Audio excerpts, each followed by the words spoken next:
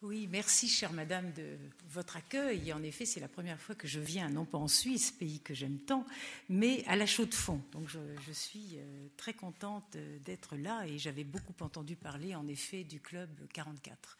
Bienvenue à chacun, à chacune. Euh, peut-on parler de Dieu aujourd'hui, en public, dans une société dite laïque? Euh, ce soir, je ne vais pas parler, je ne viens pas euh, parler de religion, euh, mais je viens parler de liberté. et la liberté de pensée et de conscience commence en effet par le questionnement. Le questionnement, la quête, c'est le même terme. Euh, cette liberté aussi euh, s'approfondit par la recherche, l'étude, la démarche personnelle, les rencontres aussi, les conversations, et elle s'affine sans nul doute par euh, l'esprit critique, qui est parfois bien, bien oublié. Bien sûr, personne ne peut enseigner la liberté, mais en revanche, la liberté peut facilement être empêchée voire étouffée. C'est pour ça qu'elle m'est très à cœur et j'ai toujours à cœur de rappeler l'immense liberté euh, qui est la possibilité de l'être humain et dont nous nous démettons un peu trop facilement au coin du bois parce que c'est plus facile en effet de dire je pense comme les autres ou euh, ça ne fait pas de vagues, etc. Peut-on parler de l'au-delà de la destinée, de l'âme, de l'esprit, euh, de la vie éternelle, euh, du monde divin, des dieux ou des dieux, euh, de la transcendance, de l'absolu. Peut-on parler de ces sujets? Pas du tout palpables, d'ordre invisible, mais peut-être sensibles, sensibles au cœur, euh, peut-on parler de, ces sujets dans une euh, société ou à une époque, euh, surtout, qui se dit laïque, et je n'insisterai pas trop là-dessus, mais j'ai bien conscience que en France, ce qui est appelé laïcité est extrêmement virulent et radical par rapport à ce que vous, vous vivez en Suisse, qui est beaucoup plus, comment dire, juste et légitime. Euh, mais j'en parlerai un petit peu plus tard. Mais est-il possible, c'est-à-dire, euh, est-on autorisé, euh, est-ce permis de parler de ces sujets-là ou est-ce que c'est réservé à la sphère privée, comme on entend dire, ou est-ce que c'est hors champ est-ce que c'est sans intérêt? Est-ce qu'il y a mieux à faire? Euh, Vous savez, c'est euh, Paul Valéry, euh, dans, un, dans, un, livre qu'on ne connaît pas trop de lui, c'était en 1942, je crois, ça s'intitule Mauvaise pensée, et Paul Valéry disait déjà écrivait, bien sûr avec ironie, L'éternité occupe ceux qui ont du temps à perdre. Elle est une forme de loisir. Alors, est-ce que euh, c'est parce qu'on a d'autres intérêts qui semblent plus urgents, plus humains, euh, que l'on délaisse toute cette immense euh, connaissance, ou du moins recherche, domaine de recherche, qu'on appelle la métaphysique. Or, la métaphysique, comme la philosophie, ne sont pas, ces deux sciences ou connaissances ou études ne sont pas réservées à des philosophes au sens ceux qui ont fait des études de philosophie ou ceux qui ont un système de concepts à proposer. Euh, la métaphysique n'est pas réservée non plus aux théologiens. La métaphysique, c'est en effet chacun se posant des questions sur est-ce qu'il y a euh, une réalité autre que la réalité humaine ou terrestre? Est-ce qu'il y a une vie autre que euh, ma vie en tant qu'humain, ma vie corporelle, biologique et puis mon activité cérébrale? Est-ce qu'il y a quelque chose en moi qui a envie de ne pas mourir ou de franchir les portes de la mort? Alors on l'appelle âme ou esprit. Euh, parcelle de divin, étincelle divine, comme disait Maître Eckhart. Est-ce qu'il y a en effet un monde autre, alors on dit, ou peut-être un seul, une seule grande puissance invisible, une présence créatrice ou non, qui s'inquiète ou qui ne s'inquiète pas des humains, des mortels, mais qu'on appelle Dieu, que les philosophes appellent aussi l'être avec majuscule, l'un, l'absolu. Voilà, donc ce sont des questions qu'on appelle essentielles, que chaque euh, être humain, à un moment de sa vie, il n'a pas besoin d'attendre les portes de la mort, que chaque être humain, à un moment de son existence, ou même souvent, se pose, euh, et auquel apparemment, de nos jours, il paraît, il n'est pas recommandé de trop penser. Et là aussi, on peut se, demander pourquoi. voilà donc la métaphysique est bien, pour reprendre à peu près la définition, c'est le domaine des réalités invisibles, immatérielles, c'est-à-dire qu'on ne peut pas percevoir, ressentir avec nos cinq sens, et même qui échappent souvent à euh, la raison raisonnante. Euh, mais vous savez, euh, c'est le, dessin humoristique, c'est deux, deux, garçons assez jeunes qui se rencontrent et l'un, le premier, a une tête un peu angoissée et il dit à son, ami, son camarade, il dit Qui suis-je D'où vais-je Où, viens, où vais-je D'où viens-je? Et son camarade lui dit Mais demande à Google.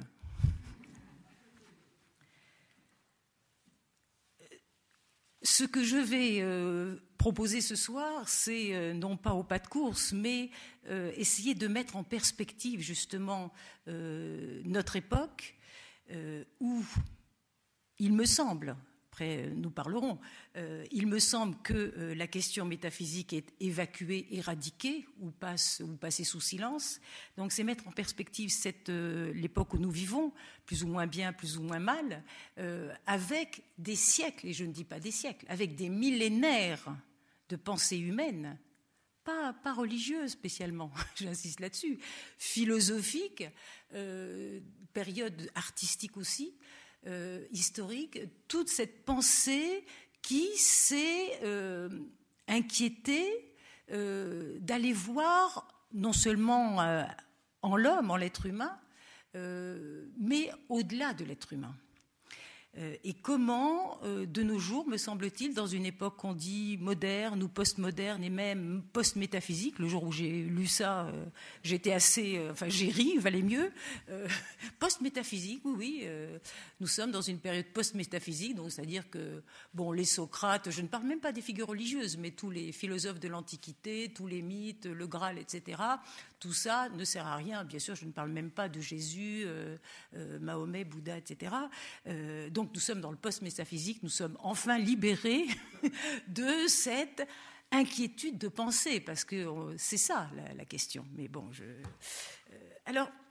Ce qui est troublant, mais vous le savez aussi, enfin, ce qui est troublant et ce qui est tout à l'honneur de l'être humain, euh, c'est que, ou plutôt qu'on remonte à l'aube de l'humanité, il y a évidence, présence de rites, de cultes, euh, donc de référence à une réalité autre, supérieure, inconnue, alors que ce soit les astres, que ce soit euh, des esprits.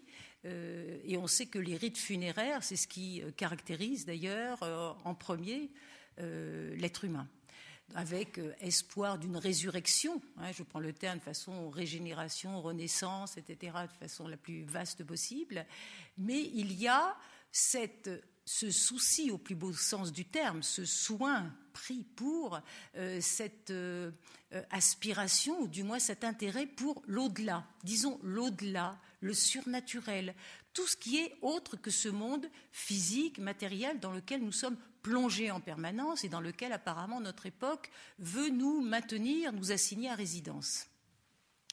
Et euh, une civilisation, autant qu'on sache, une civilisation, toutes les grandes civilisations qui ont passé sur euh, cette terre euh, sont composées, une civilisation est composée non seulement d'un système de technique, d'art, de technique, de, de sciences, mais aussi d'un système de gouvernement, mais aussi d'une religion ou d'un système de croyances une religion, quelle qu'elle soit, un système de croyance et de culte, quel qu'il soit, fait partie de ce qu'on appelle une civilisation.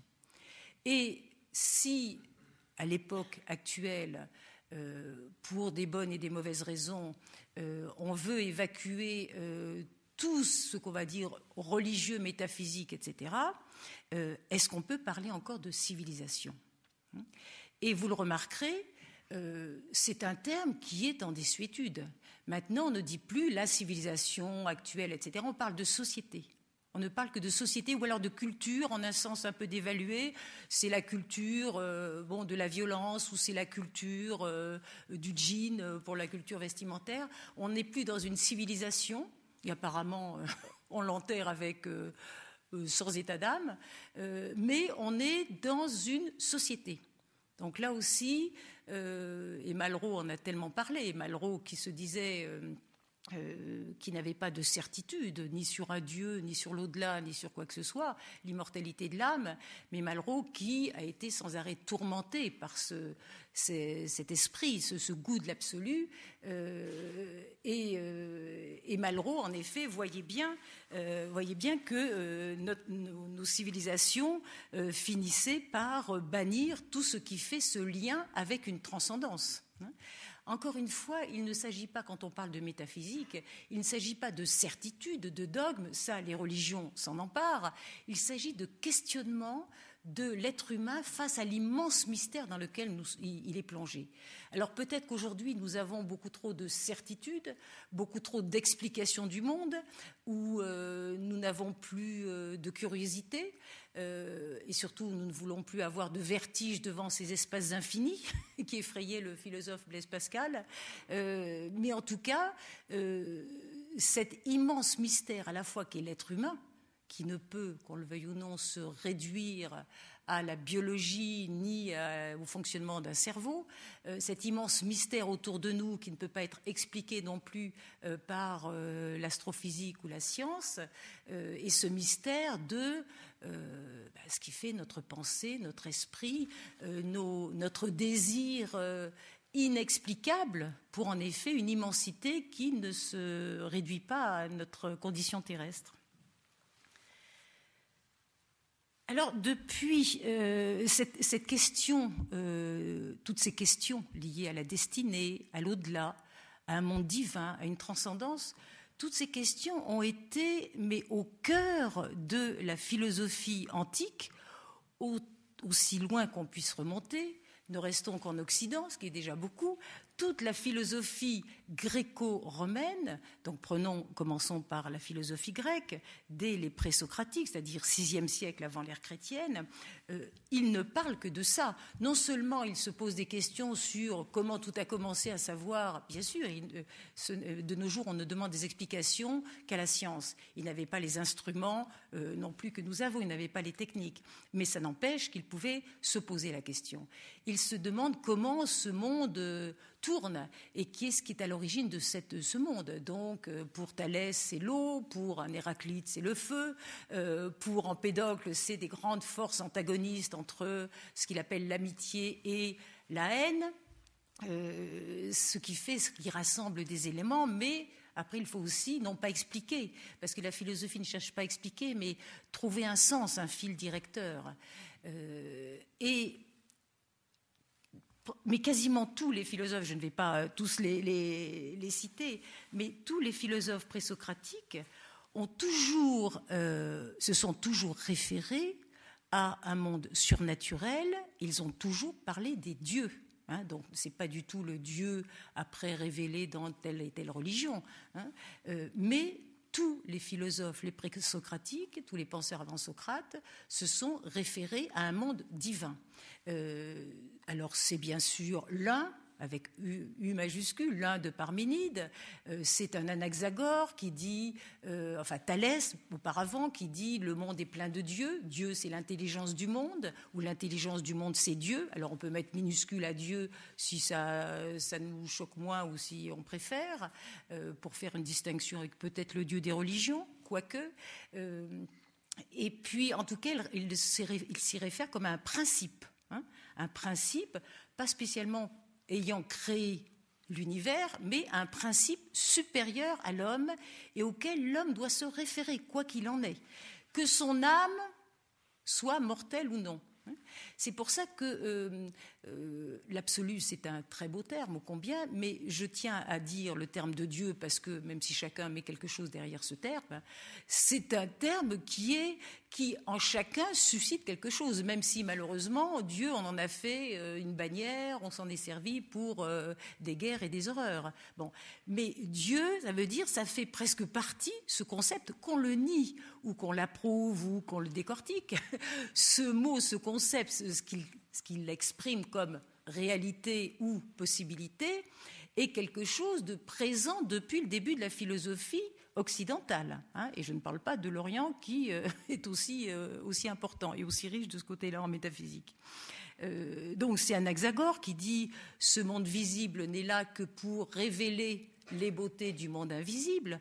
Donc il y a toujours, comme Malraux s'en inquiétait, lui, au XXe siècle, avec sa recherche sur l'art, en comparant l'art en Orient, en Occident, etc., les diverses civilisations, il y a toujours ce lien entre deux plans, ce qu'on va appeler au sens très large, très facile, la Terre, là où nous sommes, et puis ce qu'on appelle le ciel. Alors le ciel qui n'est pas le ciel atmosphérique, le ciel de la météorologie, mais le ciel au sens, le ciel métaphysique, ce lieu inconnu, invisible, euh, qui est le domaine supérieur, cette réalité supérieure à laquelle nous pouvons prétendre ou avec laquelle nous pouvons entrer en relation. Et tous les rites, tous les cultes et les religions par la suite euh, ne sont là que pour maintenir le lien, conserver le lien ou restaurer le lien entre la terre et le ciel, entre l'être humain et les dieux. Alors pas simplement avec des sacrifices, des prières, des offrandes, mais la philosophie ne s'inquiète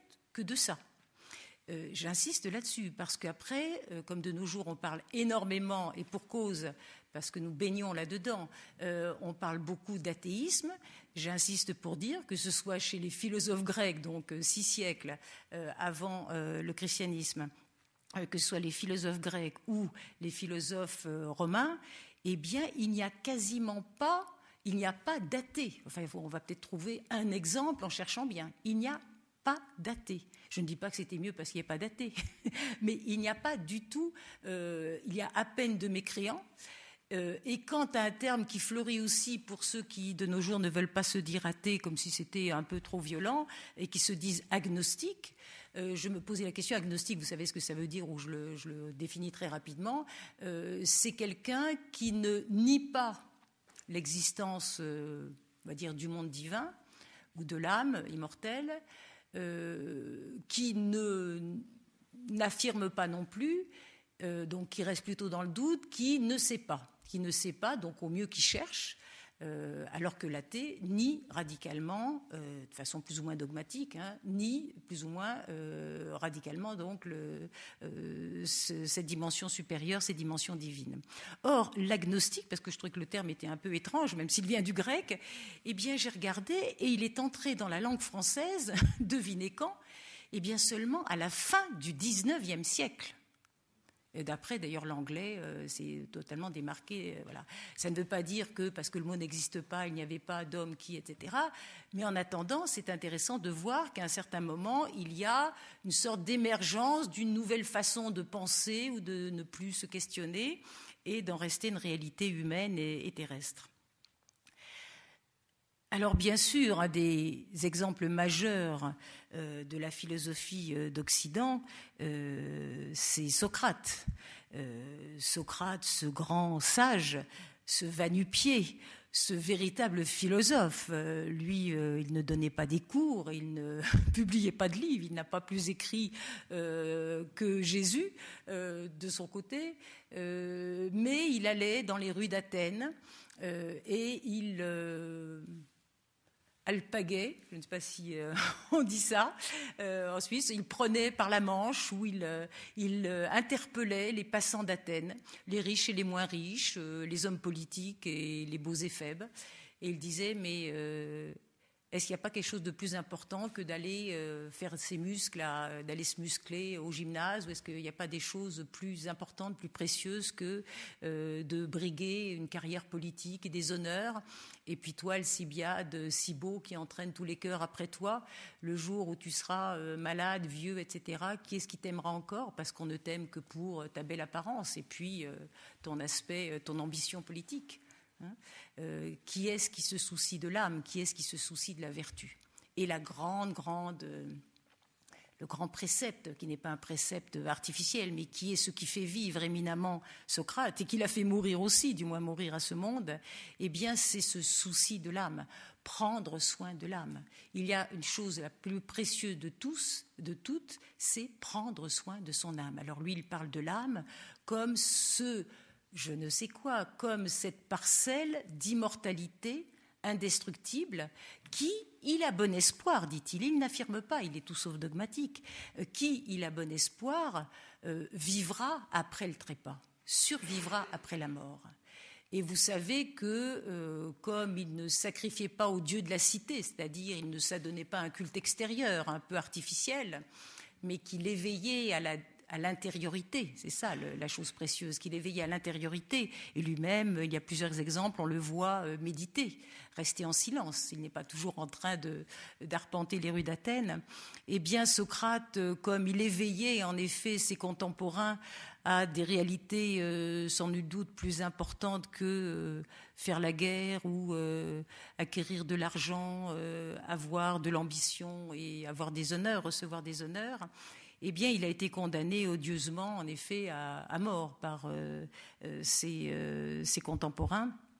Et il ne s'est pas échappé, il ne s'est pas dérobé à la sentence, sachant qu'en effet, c'est la justice des hommes, et sachant aussi que c'est ce n'est pas Socrate qui va mourir, c'est son corps qui va disparaître et que le vrai Socrate, lui, il le dit, vous pouvez me tuer, mais vous ne pourrez jamais mettre à mort mon âme. Et euh, on sait que ses propos, son enseignement ont été repris par son disciple euh, Platon. Et euh, Platon nous laisse cet ultime message qu'il l'ait plus ou moins embelli, arrangé, modifié, mais il nous, reste, il nous, laisse quand même le, le portrait d'un sage magnifique, Socrate, qui, alors qu'il est condamné à mort, donc à boire la ciguë, qui est ce poison qui glace le sang, qui va le paralyser, eh bien, au lieu de de s'indigner, au lieu de récriminer, au lieu de se révolter, au lieu de s'affaisser, eh bien, Socrate convoque dans sa prison euh, quelques-uns de ses chers amis. Et de quoi discute-t-on à l'instant du trépas, quand la mort est programmée? Eh bien, on ne va pas parler des petits oiseaux des fleurs, même si c'est aussi parfois joli et doux. Euh, il a dit au revoir à sa femme, à ses enfants, et puis il les a renvoyés parce qu'il pleurait trop. Le temps n'est pas de s'apitoyer, mais de se poser les questions essentielles et de faire face à l'inconnu ou au mystérieux inconnu. Et à ce moment-là, il a une discussion extrêmement serrée avec ses proches amis sur est-ce que l'âme est immortelle? Parce qu'il y a eu des philosophes, par exemple un Démocrite, puis après un Lucrèce, qui, dit, qui ne nie pas que l'être humain est une âme. Ils disent en effet l'être humain a une âme, mais c'est une substance qui nous fait euh, vivre, respirer, qui anime le corps. Mais après, l'âme disparaît. L'âme est matérielle, l'âme disparaît après le trépas. Et donc c'est une discussion, et lui, Socrate, euh, continue de se référer au Dieu, donc D-I-E-U, D minuscule, hein, euh, se référer au Dieu, même au Dieu qui est en lui, qui l'inspire, et il, dit à plusieurs reprises, non pas c'est ainsi, c'est comme ça, mais il dit j'ai bon espoir, j'ai bonne espérance que mon âme survivra après, que mon âme rejoindra le Dieu, que mon âme euh, survivra et aura une vie bienheureuse. Voilà, voilà donc ce n'est pas un dogme, ce n'est pas une croyance, mais c'est le fruit d'une quête philosophique. Donc toute la philosophie antique, alors après lui bien sûr, Plotin, le fameux euh, philosophe euh, qui vécut à Alexandrie, donc au deuxième siècle, euh, Plotin qui, alors lui, alors tous ces philosophes ont été appelés païens par les chrétiens qui ont suivi, soit parce qu'ils vivaient avant l'avènement du christianisme, soit ils étaient contemporains du christianisme, comme un Sénèque, comme un Plotin, mais sans jamais faire référence euh, au christianisme, à la doctrine chrétienne. Ce qui nous interroge, ce qui nous interroge. Hein. Et vous savez aussi, sans nul doute, que c'est l'apôtre Paul qui fait référence, qui en parle et qui dit, lorsqu'il passe à Athènes, il note qu'il y a un hôtel à UTEL, un hôtel édifié par les Athéniens aux dieux inconnus. Donc pour montrer leur ouverture d'esprit. Il ne disait pas ce n'existe pas ou c'est pas le lieu d'en parler et puis on est sur la place publique. Il y avait un hôtel, donc c'était aussi une immense euh, ouverture d'esprit hein, aux dieux inconnus. Voilà. Et je ne suis pas sûre que de nos jours on ait encore, il soit possible, envisageable euh, de mettre, même d'édifier un, bâtiment en mettant aux dieux inconnus. Euh, voilà. Et Plotin, donc, qui est un un mystique païen euh, qui lui est absolument épris de verticalité et de transcendance et qui euh, invite ses disciples, ses amis, à faire remonter ce qu'il y a de divin en eux vers le divin supérieur. C'est à peu près sa, formule.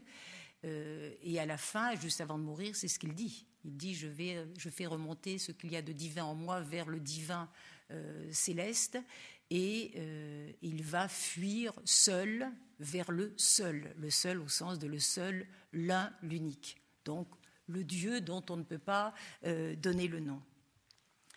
Voilà tous ces, exemples un petit peu, euh, non pas au pas de course, mais pour montrer encore une fois que la métaphysique n'est pas du tout le monopole de la religion ou des religions, mais qu'elle fait partie de la conscience de l'homme. C'est là-dessus, c'est pour ça que je parle de liberté et non pas de ou l'existence de Dieu ou choses comme ça. Elle fait partie de la conscience de l'homme. Et si euh, l'on supprime ou l'on euh, on restreint à des, un cadre bien particulier euh, ce questionnement-là, ça veut dire que l'on rétrécit d'autant le champ de conscience humaine. Le jour où euh, l'être humain n'a plus le droit de se poser ce genre de questions, ça veut dire qu'il est vraiment, alors soit inféodé au Dieu actuel qui est le commerce et euh, la consommation et les loisirs et euh, le Dieu, enfin le Dieu Internet, etc. Donc là, le polythéisme actuel, soit ça veut dire que l'être humain a une conscience absolument anesthésiée et que la seule pensée qui lui soit autorisée et permise ne concerne que les choses terrestres, humaines, existentielles, donc qui nécessairement ont une fin. Donc euh, le questionnement est encore une fois toujours ce qui euh, élargit et ce qui, euh, ce qui rend libre. Évoqué rapidement donc cette philosophie occidentale, notre héritage, mais euh, ce questionnement sur le surnaturel, le ou les mondes invisibles, la transcendance divine, euh, eh bien, euh, ce questionnement traverse aussi tous les grands mythes de l'Occident. De fait, il y a trois grands massifs, j'allais dire, qui s'intéressent à la métaphysique, la philosophie, les mythes et puis les religions. Et nous, nous ne connaissons plus que, si tant est que nous les connaissions, euh, les religions. Euh, il y a le Dieu des philosophes, il y a le Dieu des religions, euh, et il y a, alors on ne parle pas de Dieu dans les mythes, il y a des dieux, bien sûr, qui circulent dans les mythes, mais tous ces grands récits qui se trouvent, qui sont transmis de façon orale, tous ces grands récits qui sont à l'aube de toutes les civilisations, qu'on appelle des mythes, eux, ils ne sont pas du tout, euh, ce n'est pas un discours scientifique qui va observer, expliquer le monde, mais ils cherchent justement à donner le sens, donc, ou une interprétation. Et tout ce qui est sens et interprétation est tout sauf dogmatique. Hein. c'est totalement, euh, ce n'est pas subjectif, mais ça peut varier et c'est sensible. Euh, ce n'est pas une vérité rationnelle. Et tous les mythes de quête, alors j'en cite juste quelques-uns, parce que bien sûr je ne vais pas avoir le temps, et ce n'est pas le lieu non plus de vous les compter, mais les mythes qui mettent en scène les humains, les mortels, les Grecs aiment bien, les Grecs anciens aiment bien parler des hommes, des êtres humains, comme les éphémères et comme les mortels, je trouve, et moi j'aime bien le rappeler aussi parce que ça remet les idées en place. Bon, euh, et on n'a plus cette arrogance de penser que euh, on vivra 100 ans et 120 ans et ceci et cela et on est, on maîtrise tout, etc. Donc nous sommes mortels, ça aussi on l'évacue de nos jours. Bon, euh, et tous les mythes, donc, mettent en relation ou essayent de retrouver ce lien entre les humains, les mortels, avec leurs désirs, leur soif, leur passion, leur travers, leur goût de combattre, et les dieux, donc la terre et le ciel, sans arrêt. Et si vous vous souvenez bien sûr de tous les les grands mythes grecs, ne serait-ce que l'Odyssée, l'Odyssée, ce grand retour d'Ulysse dans son, île, Ithaque, qu'il a, quitté il y a 20 ans pour raison de guerre, pour euh, aller participer à la guerre de Troie, eh bien, c'est peut-être une histoire entre les, Grecs, enfin les Achéens et les Troyens. Peut-être ça se passe sur Terre, mais ça se passe en même temps dans le ciel, enfin dans l'Olympe. Il y a aussi des bagarres ou des alliances entre les dieux, et il y a aussi des alliances ô combien entre les dieux qui protègent tel et tel et euh, les Troyens ou les Achéens. C'est très important. Nous avons toujours, c'est toujours ce fil tissé entre la condition terrestre et la dimension céleste. Une des premières épopées, un des premiers textes euh, qui nous soit parvenu, euh, même s'il a été déchiffré tardivement au XIXe siècle, euh, la fameuse épopée de Gilgamesh, donc, ne parle que de ça. C'est tout de même troublant de penser qu'il y a 6000 ans, euh, les premiers textes écrits, soit ce sont des hymnes ou des prières, il y a aussi quelques documents administratifs, j'allais dire de comptabilité, où on compte euh, les moutons, le blé, etc., les récoltes, mais tout de même que les plus anciens vestiges, je parlais des rites funéraires tout à l'heure pour une autre raison, mais que les plus anciens vestiges, dès qu'il y a écriture, hein, euh, je ne parle même pas des dessins préhistoriques. dès qu'il y a écriture, eh bien, les vestiges, c'est avant tout des prières, des hymnes qui s'adressent bien sûr à des puissances supérieures ou invisibles ou inconnues, et d'autre part qu'il y la première épopée que nous ayons on ait pu rassembler, euh, dont on ait pu reconstituer l'histoire entière, euh, celle de Gilgamesh, n'est autre que l'histoire d'un homme qui a tout pour être heureux, comme on dirait de nos jours. Il est roi, il est jeune, il est beau, euh, il a toutes les femmes qu'il souhaite séduire. il a en plus la chance d'avoir une, mère extrêmement sage qui lui communique ses songes et qui le, dirige bien dans la vie. Enfin, il a tout pour être heureux, y compris la rencontre d'un ami. Euh, avec qui il va partir euh, faire des, accomplir des exploits.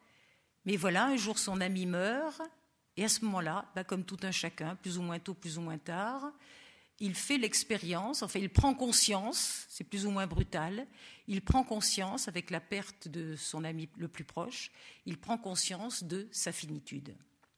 Et là, quand on prend conscience de sa finitude, quand on sait qu'on est mortel, et ça peut se faire à 5 ans comme plus tard, eh bien, on se pose en effet des questions métaphysiques. Et la métaphysique est tout sauf cérébrale, c'est vital. S'y a-t-il une vie autre Et qu'est-ce qui me rend vivant Et qu'est-ce qui me fait vivre ici, aujourd'hui euh, Et à ce moment-là, Gilgamesh abandonne tout, son luxe, on dirait, euh, sa, richesse, ses honneurs, son royaume, euh, sa mère, ses citoyens, enfin ses sujets. Il abandonne tout pour partir à la recherche d'une certaine plante d'immortalité. Bien sûr, l'histoire est longue et euh, il ne la trouvera pas, ou du moins il la trouve, mais c'est un leurre, hein, parce que ça ne se trouve pas plus dans une pilule d'immortalité que dans un, caillou, une plante ou la recette magique du jour. Hein. Bon. Mais il aura beaucoup appris et à son retour dans sa ville, eh bien, il, revient changé, bien sûr, et transformé, et il, il a accédé à une autre qualité de vie et qui le fait s'émerveiller, une sorte de jouvence, euh, un regard renouvelé qui lui, fait, qui lui fait voir cette vie comme magnifique parce que, c'est moi qui ajoute, ce n'est pas dans l'épopée, parce que, sans nul doute, elle se profile sur fond de ciel. Cette vie est riche et précieuse, quoique euh, brève, euh, parce qu'elle est sur fond d'infini. Elle est sur fond d'infini tant d'autres mythes. La toison d'or, la conquête de la toison d'or, ou c'est la, quête de la perle, ou c'est la quête d'une rose, ou dans les contes euh, initiatiques, c'est euh, les contes traditionnels, c'est le royaume, ou c'est euh, la fille du roi, alors ou c'est une ville magnifique. Et toute cette quête, tous ces mythes de la quête, correspondent à quoi? Correspondent à cette recherche de quelque chose qui ne périt pas ce trésor qui ne périt pas. Bien sûr, euh, c'est exprimé par un trésor avec des grosses pièces d'or ou des pierreries, mais ce visible exprime toujours cet invisible.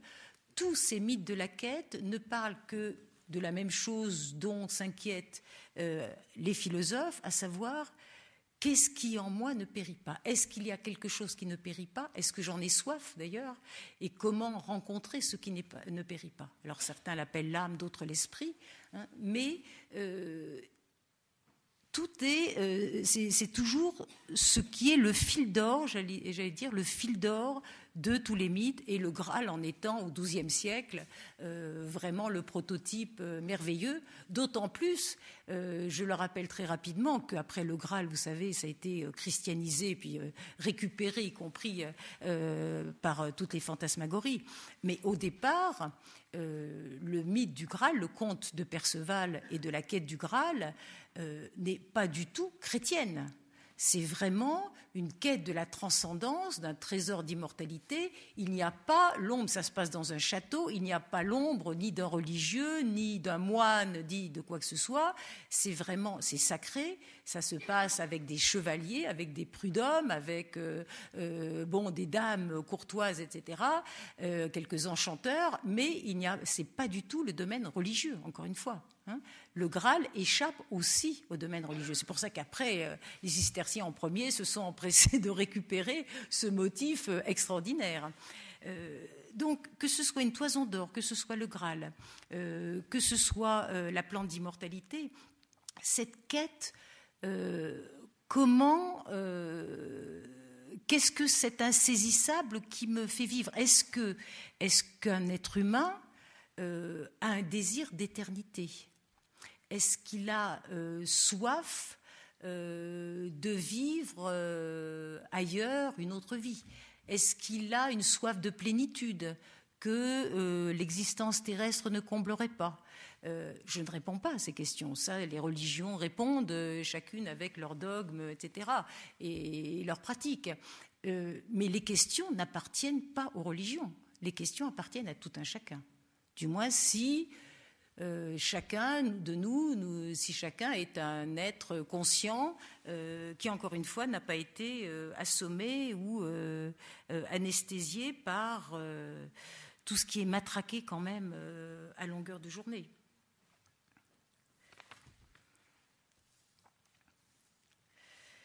Alors c'est pourquoi je ne vais pas euh, développer spécialement les religions, puisque euh, alors par rapport si euh, par rapport à la question qui est celle qui nous fait nous rencontrer ce soir, peut-on parler de Dieu, etc.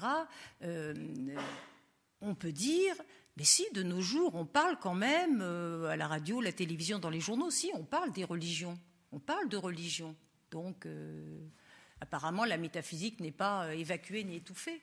Alors euh, faites bien attention que lorsqu'on parle des religions, c'est toujours des religions. Au départ, la religion, de façon générale, la religion, c'est le lien entre l'homme et une transcendance, l'homme et une divinité et un monde euh, d'une réalité supérieure. Hein. Or, maintenant on parle des religions, et pour cause, parce qu'on les connaît, et puis il y en a beaucoup. Euh, mais on parle des religions en tant que phénomènes extérieurs, phénomènes sociaux. Si on parle des religions dans les journaux, même dans des, journaux spécialisés en religion, vous remarquerez, c'est euh, si c'est pas la venue du Dalai Lama, c'est la question du port du voile ou le Ramadan, euh, j'allais dire ce qui est phénomène extérieur. Il n'est jamais question, euh, bien sûr, puisque c'est apparemment ce n'est pas le lieu, ce n'est pas licite ou euh, ce n'est pas autorisé. Euh, il n'est pas question, en effet, de ce qu'on a évoqué plus tôt. Il n'est pas question de l'âme, de métaphysique, etc. Il est question simplement de, formes humaines terrestres qu'on appelle religions, donc qui doivent cohabiter plus ou moins bien, alors avec le pouvoir en place, avec la société civile justement, avec ce qu'on appelle la laïcité, etc. Et alors, justement, je me disais, euh, si, euh, si, de nos jours, enfin moi ce que j'entends par exemple, euh, encore une fois en France, je vais un peu parler maintenant de cette laïcité, j'entends souvent dire, de parler, ça m'est arrivé lors de, de, rencontres, non pas du tout de conférences, mais dans un repas, et à un moment, on parle pas spécialement avec des personnes que je connais, mais on peut parler en effet de ces questions que j'ai avancé, l'au-delà, une autre vie, euh, l'âme, Dieu, euh, la destinée, la providence, etc. Euh, et à ce moment-là, il y a toujours quelqu'un pour dire Ah ben non, non, mais ça c'est privé. Et puis c'est ce qu'on entend largement dire c'est une affaire privée. Moi j'entends ça à longueur de journée. C'est une affaire privée, à savoir, on n'en parle pas sur la place publique, encore moins donc, ni devant un public, c'est une affaire privée. Je me dis Mais quelle extraordinaire hypocrisie Ils disent que Dieu, l'âme, etc., etc., le désir d'éternité est une affaire privée, donc c'est réservé alors à la chambre secrète de je ne sais quoi ou de quelle alcôve, mais en revanche, le sexe, les turpitudes ou l'exhibitionnisme, euh, les histoires amoureuses et sexuelles des gens connus et, pas connus, euh, hein, euh, alors là, c'est pas du tout apparemment une affaire privée. Extraordinaire. Bon, et là, personne, non, mais tout le monde a dit ah oui, non, ça c'est une affaire privée. Qu'est-ce que ça veut dire ce genre d'autocensure, comme si c'est la religion, donc on n'en parle pas? Encore une fois, ce n'est pas la religion, c'est la conscience humaine. Oui, oui, parce que le fameux Big Brother, euh, vous savez, lui, il se frotte les mains. Hein, le Big Brother, il a bien compris comment on fait les têtes au carré et comment, au fur et à mesure, on évacue les questions.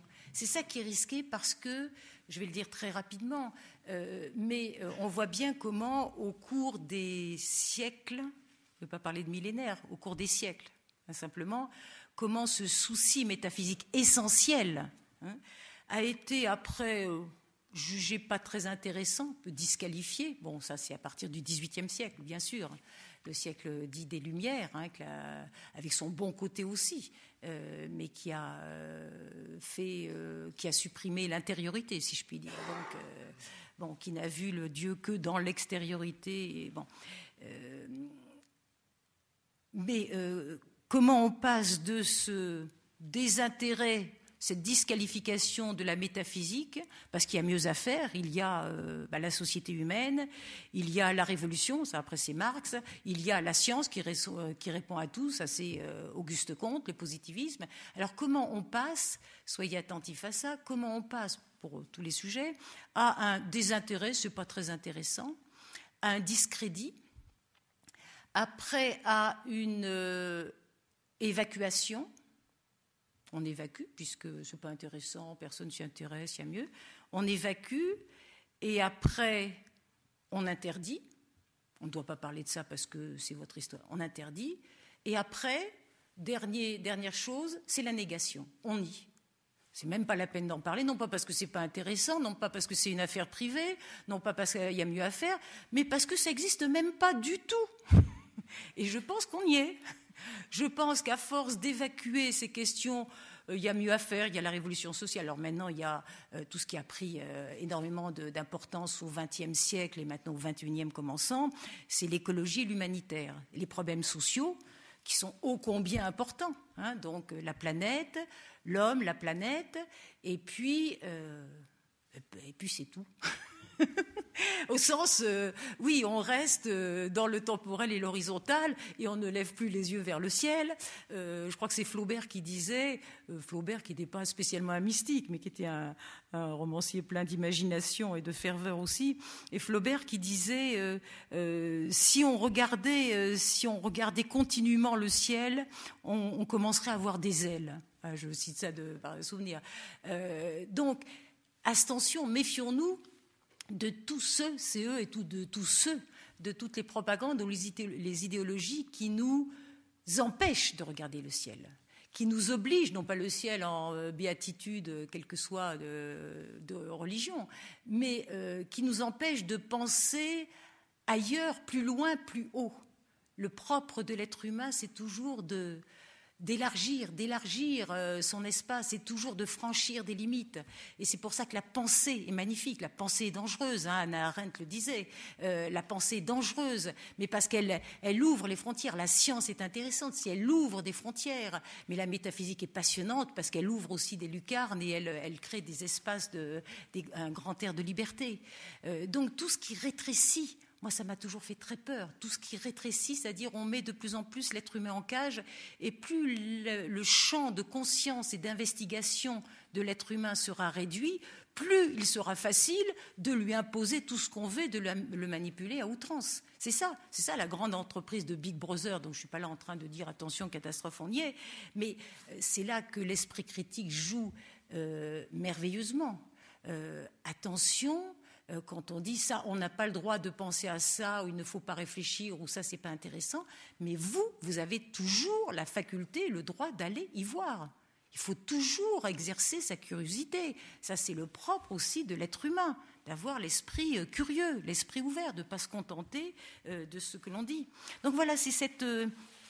oui, oui, cette, la façon dont les choses, à force de ne plus y penser, eh bien, on va les nier. Donc, euh, ce n'est pas grave pour Dieu hein, qu'il existe ou pas, ce n'est pas grave pour l'âme, ce n'est pas la question, c'est grave pour l'être humain, c'est grave pour la liberté de l'être humain. Que Dieu existe ou qu'il n'existe pas, il est extrêmement sain, salubre, merveilleusement sain et salubre de se poser ces questions qui dépassent notre petit individu. Parce que de fait, qu'est-ce qui s'est passé justement à partir du XVIIIe siècle, avec le siècle des Lumières, avec les meilleures intentions du monde? Eh bien, et puis le XIXe siècle a enfoncé plus que le clou, eh bien, euh, Dieu est mort, Dieu n'existe pas, ou Dieu n'est pas intéressant, l'important c'est l'homme. Et donc, c'est l'homme maintenant qui a remplacé Dieu. On le sait, on est en plein là-dedans, pas par rapport aux droits de l'homme, ça ce n'est pas cela. Mais il n'y a plus de transcendance, donc le seul être à qui porter tous nos soins, notre attention, eh c'est l'être humain. Et donc, l'homme divinisé, euh, avec tout ce que ça suppose, et maintenant, euh, les seuls combats euh, qui vaillent, eh bien, c'est pour l'être humain qui, ben oui, malheureusement, est mortel et périssable. Et puis les autres combats, eh bien, c'est pour assurer sa survie, son habitacle. Donc, on s'intéresse à la planète. Je pense pas trop par rapport à la planète elle-même, hein, ni même aux animaux, aux plantes qui périssent, qui disparaissent les unes après les autres, mais ben, il faut quand même s'occuper de la maison. Hein. Et puis quand on parle des générations futures, c'est oui, il faut quand même laisser la maison pour euh, nos chers descendants euh, mortels comme nous, etc. C'est très narcissique, c'est absolument égoïste, hein, comme euh, je trouve les, préoccupations dites planétaires. mais bon, donc voilà ce qui a été, ce qui a été remplacé. Et je me disais de façon peut-être un petit peu cruelle, mais après vous rectifierez ou vous adoucirez. mais puisque ce monde immense, divin, surnaturel, invisible, l'aspiration de l'âme, si Amelia a une éternité, une vie autre que la vie euh, physiologique et que l'activité purement cérébrale, euh, la vie de l'esprit, donc au sens spirituel, euh, si tout ça a été balayé pour la seule vie matérielle, eh bien, je pense qu'il y a des grosses séquelles. Et, je pense que chaque être humain, qu'il le veuille ou non, eh bien, euh, ressent cette nostalgie. Vous savez, c'est comme les membres coupés. Il paraît qu'on peut avoir mal à un bras qui a été coupé. Et euh, il me semble qu'il y a quand même une, peut-être pas un mal-être, mais une grande nostalgie peut-être de quelque chose qui était un trésor et qu'on a perdu ou dont on s'est laissé euh, déposséder. Et je me disais, il y a eu des petites compensations, ça c'est tout récent. Moi je trouve que c'est vraiment à l'échelle de dix ans qu'on peut voir qu'on peut voir ces, ces ersatz, s'il n'y a pas d'autre terme. Et je me disais, comme on a euh, l'idéologie, ce n'est pas une philosophie, c'est une idéologie, euh, a supprimé ou veut supprimer la notion d'éternel ou l'éternité, on a remplacé l'éternel par le durable. Ce n'est pas du tout la même chose, mais ça a l'air de fonctionner, comme on dit, hein, ça marche. Il n'y a plus d'éternel, mais il y a le durable. Comme le monde surnaturel, euh, n'est pas intéressant ou du moins ne, doit pas intéresser, eh bien, c'est devenu le monde virtuel, qui apparemment passionne tout le monde. Euh, et puis, bon, ce n'est pas le prendre soin de son âme, hein, de, notre cher Socrate. Alors, comment on prend plus soin de son âme, puisque l'âme, on ne sait pas trop ce que c'est, et puis on ne l'a pas trouvé au fin fond du cerveau. Alors, on ne prend plus soin de son âme, mais on prend soin de son gros moi. Quand il n'y a plus l'âme, ben, il y a l'ego. Alors, lui, l'ego, il, il résiste. D'où ce narcissisme effarant euh, qu'entraîne, à mon avis. Hein, on supprime le divin, donc il y a l'homme, et l'homme, il n'y a plus d'âme, donc il n'y a plus que le gros moi. Et alors là, c'est toute euh, euh, la prospérité de tout ce qui tourne autour du gros moi. et comme également l'être, le questionnement sur l'être, qui était le questionnement de toute la philosophie antique et qui traverse les mythes, l'être E majuscule, hein, que d'autres appellent l'un, l'absolu, comme l'être apparemment n'intéresse plus personne, eh ben, elle est avantageusement remplacée par avantageusement par le bien-être. voilà, qui n'a rien à voir. Bon, ça c'est peut-être des petites formules, mais bon. Alors, je vois que le temps tourne, puisque nous sommes encore dans le temps et pas encore dans l'éternité. Bon, nous faisons ce que nous pouvons. Mais quand je formulais la question, ce qui m'apportait en effet, c'est la métaphysique aux oubliettes. Euh, mais quand je posais la question, euh, peut-on parler de Dieu? Donc, est-il permis, autorisé euh, Ou est-ce que c'est tabou Est-ce que c'est dangereux Est-ce que c'est suspect de parler de Dieu Tout ce que ça représente, hein, cette constellation, dans une société laïque? Il est certain que moi, vivant en France et à Paris, je peux constater, mais c'est presque au jour le jour, euh, la façon dont il y a une déformation absolument terrible de ce terme, euh, qui est tout à fait clair et simple au départ, et qui devient maintenant une machine de guerre. Je vous en dis trois mots, parce que je ne sais pas si ça vous intéresse particulièrement, mais je pense que ça peut vous toucher quand même, plus ou moins. Euh, au départ, laïque, c'est très simple. Laïque, c'est un mot qui existe depuis, j'allais dire toujours, enfin dans le moyen, au Moyen Âge, il y a les laïcs, il y a les clercs. Donc les laïcs, ce sont des nobles ou des paysans, euh, hommes et femmes, etc. C'est-à-dire ceux qui ne, sont pas ministres du culte, qui ne sont pas religieux, qui n'exercent pas une fonction sacerdotale, donc ils ne sont ni moines, ni prêtres, ni etc. au Moyen Âge, ni papes, etc. Ils sont hommes et femmes. Bon. Et donc ce sont les laïcs.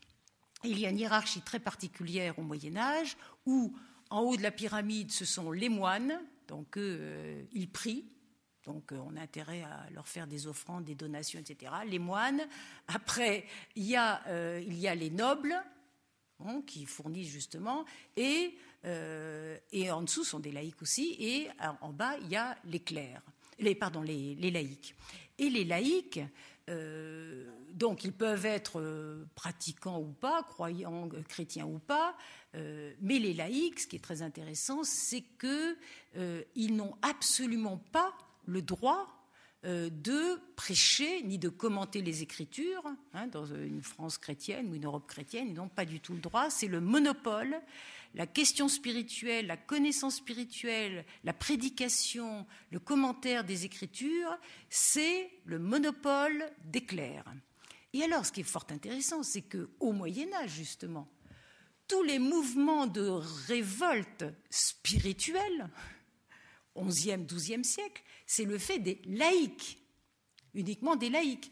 Et les laïcs du XIe, XIIe siècle, alors on connaît les bogomiles, les cathares, mais on connaît surtout les vaudois, euh, les humiliés hein, euh, de, l'Italie. Je parle un petit peu des, vaudois de Pierre Valdo.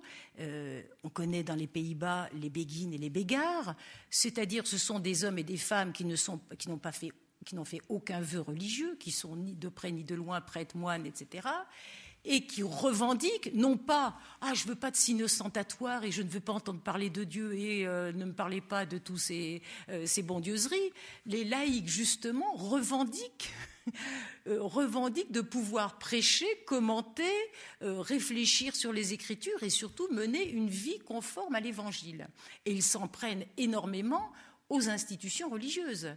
Le Pierre Valdo ou Valdès en question, qui est un riche marchand de Lyon, qui a vécu dans la deuxième euh, moitié du XIIe siècle, Pierre Valdès est un riche marchand lyonnais qui euh, s'aperçoit, comme beaucoup de ses contemporains, que entre ce qui est dit dans l'Évangile, la pauvreté, euh, et puis euh, bienheureux les pauvres, etc., et puis la richesse à cette époque déjà euh, aussi bien de la papauté que le luxe des monastères et la paresse, etc., et leur, leur conduite pas très, pas très catholique pour le coup, ça n'allait pas du tout, c'était absolument antagoniste avec les, les, les propos de, du Christ.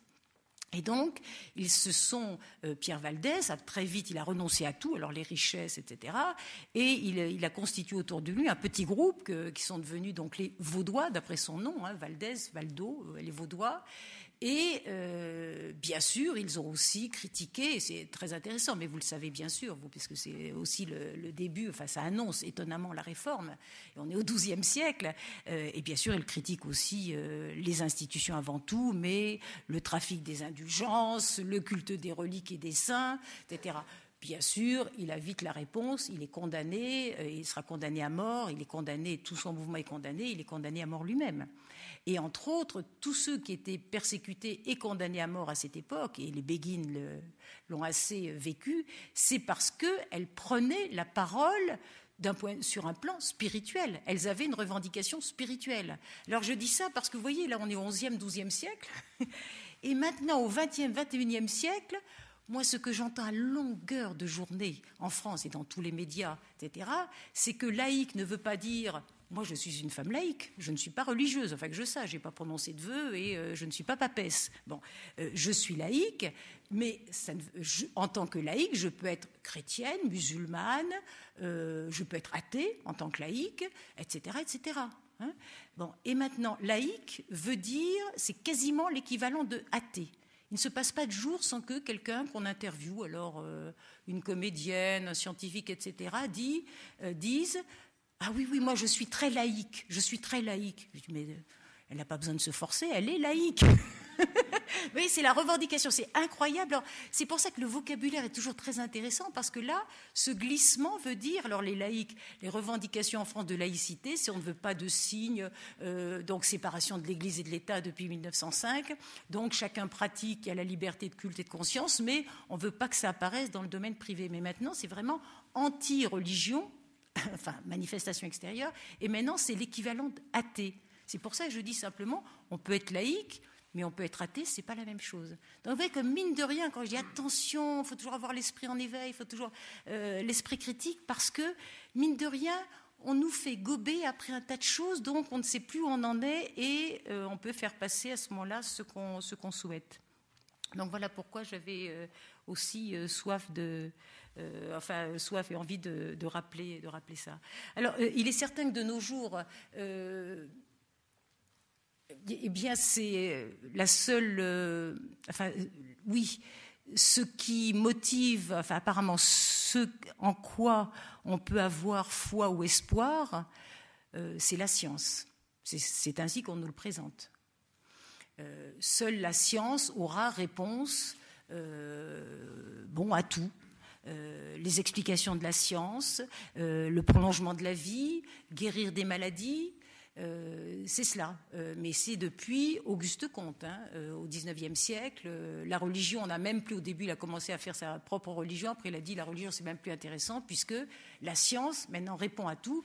Donc, là, vous avez vu ce qu'on a franchi au pas de course, là, depuis 6000 ans à Gilgamesh, et puis 6e siècle avant notre ère, avec les philosophes présocratiques. Tout ça, euh, ça ne sert plus à rien, du, passé faisons table rase, puisqu'il y a la science qui correspond, et qui répond apparemment à tous nos besoins, mais je ne sais pas s'il répond à tous nos désirs. Parce que, par exemple, la science médicale peut dire, en effet, je peux, euh, je peux guérir ou soigner telle maladie ou éradiquer telle épidémie, je peux, nous pourrons prolonger euh, telle, et telle, euh, telle et telle existence, nous pourrons améliorer, etc. Mais la science, ce n'est pas son objet et ce n'est pas sa compétence. La science n'est pas là pour répondre à des questions métaphysiques. C'est là le leurre où nous sommes. Ça ne veut pas dire que la science, ça ne, sert à rien. C'est très important, la science. Tout ce qui est exercice de la pensée, c'est très important. Très important. Euh, mais elle ne répond pas aux questions métaphysiques. Donc, face à ma peur de mourir, mon angoisse d'un au-delà, euh, d'un surnaturel qui peut-être existe, de vision peut-être ou de, de, de choses d'invisibles que je sens, ou d'un désir d'absolu, etc. Qu'est-ce qu'elle elle ne peut rien dire. Et devant le vertige ou l'angoisse, en effet, devant la finitude, la science ne peut que répondre ben, on peut prolonger euh, l'existence, ou alors ben, on va prendre des tranquillisants. Alors en effet, là, la science peut répondre en disant la science médicale, je vous donne des calmants, des analgésiques et des tranquillisants. Voilà. Mais la conscience, justement, la conscience, la merveille de la conscience humaine, c'est que la conscience est intranquille, intranquille, l'intranquillité qui est le propre de la conscience. Hein. C'est jamais, c'est jamais le calme, le calme plat, c'est toujours le questionnement. Bon, vous voyez qu'il y a encore euh, beaucoup de choses à dire, mais alors j'avais envie de, terminer justement par euh, deux belles figures. Si, je vais quand même d'abord, euh, vous avez bien compris que ce n'était pas la question de Dieu qui était au centre, mais la question de la liberté de la conscience humaine. Et, euh, et, je pensais à cette phrase, à ce grand poète grec. Alors lui, on remonte à 25 siècles, 5e siècle avant l'ère chrétienne, Pindare, grand poète, qui évoque euh, le monde divin. Encore une fois, aucun philosophe n'a jamais nié les dieux ni Épicure, ni Démocrite, ils ont toujours fait référence aux dieux. Il y a toujours un au-delà bien peuplé de dieux chez les philosophes, même dits atomistes ou matérialistes. Hein. La différence, c'est que ces dieux-là, apparemment, ils ne s'inquiètent pas des humains. Voilà. Et donc, nous, nous pouvons essayer de tendre à leur, euh, euh, ressembler, euh, mais c'est ça le drame. Hein. c'est ça le drame. Et alors donc Pindare, lui, qui bien sûr, lui aussi fait référence à un monde divin, qui ne pense pas que notre âme survive beaucoup au trépas, mais il y a ce, double vers dans une, un de ses poèmes. Euh, il a beaucoup écrit pour euh, fêter les, Jeux olympiques. Et dans une de ses pitiques, pour les Jeux pitiques, il dit N'espère pas, ma chère âme, à devenir immortelle mais épuise tout le champ du possible. Épuise tout le champ du possible. Et il me semble que dans ce champ du possible, il y a l'impossible aussi. Voilà.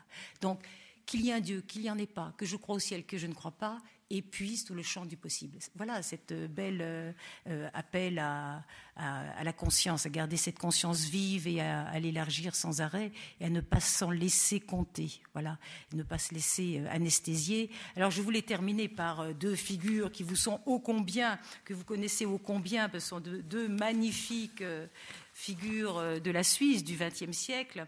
L'un croyait au ciel, l'autre n'y croyait guère. Euh, je veux dire, par là, il y a, même s'il est un peu postérieur, le prêtre euh, Maurice Zundel, que je pense la plupart d'entre vous connaissent, et puis euh, le grand Charles Ferdinand Ramu, qui lui était tourmenté par l'au-delà, par le mal, mais n'a jamais une autant que je sache, une croyance bien euh, euh, déterminée, particulière, et se poser des questions à ce, à ce, sujet.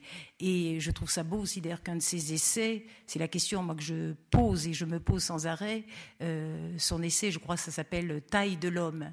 Et moi, je me pose souvent la question, je pose la question, c'est la question qu'on peut se poser chacun, quelle est la mesure de l'homme? Quelle est la mesure de l'homme? Euh, alors moi, je réponds pour moi simplement. Moi, je dis, euh, la mesure de l'homme, c'est ce à quoi il se mesure. Alors je peux en effet, d'où, à travers tout l'Occident, euh, les philosophes et les artistes et les écrivains qui ont pris ce combat emblématique de Jacob avec l'ange, qu'il soit chrétien ou pas chrétien, ça n'a rien à voir. À quoi je me mesure? Je peux me mesurer bah, au quotidien, c'est déjà courageux. Mais au nom de quoi on m'interdirait de me mesurer? à l'incommensurable. Au nom de quoi, si ma conscience le permet, si mon désir en a soif, au nom de quoi je ne me mesurerai pas avec ce qu'on appelle Dieu ou l'absolu? Au nom de quoi hein? Quelle est la mesure de l'homme? Alors, euh, Zundel, vous le savez, un, grand, euh, un homme très cultivé, un grand mystique aussi, qui a eu beaucoup d'ennuis avec, euh, aussi avec sa hiérarchie ecclésiastique, mais qui a souffert euh, euh, en silence, qui n'a rien dit, et qui répétait sans cesse, qui disait très souvent euh, Il ne faut vouloir rien de moins que l'infini. Ça, c'est une phrase qu'il disait très fréquemment. Et puis, voilà ce qu'il dit, donc prêtre catholique, mais ô combien de vaste esprit et de cœur immense. Le seul devoir, c'est d'être libre, libre, libre de tout, libre à l'égard de tous, libre devant Dieu qui est la liberté même, et libre d'abord de soi-même. Voilà, donc là c'est la parole d'un prêtre qui croit au ciel et qui en a témoigné, euh, et puis en Jésus-Christ, et euh, la parole de celui qui ne croyait guère au ciel, mais qui est tourmenté par euh, ces questions métaphysiques que nous avons un peu abordées, Ramu. je trouve très beau que c'est dans son journal à un moment, il a cette phrase que je trouve extraordinaire où il dit il y a des plaisirs, il y a l'amitié, mais rien ne peut remplacer ce sentiment d'élever enfin son front par-dessus le mur. Et je me disais que même si, à défaut de foi religieuse, à défaut d'espérance, ce sentiment euh, d'élever enfin son front par-dessus le mur, et bien, témoigner d'un magnifique courage et d'une très belle liberté.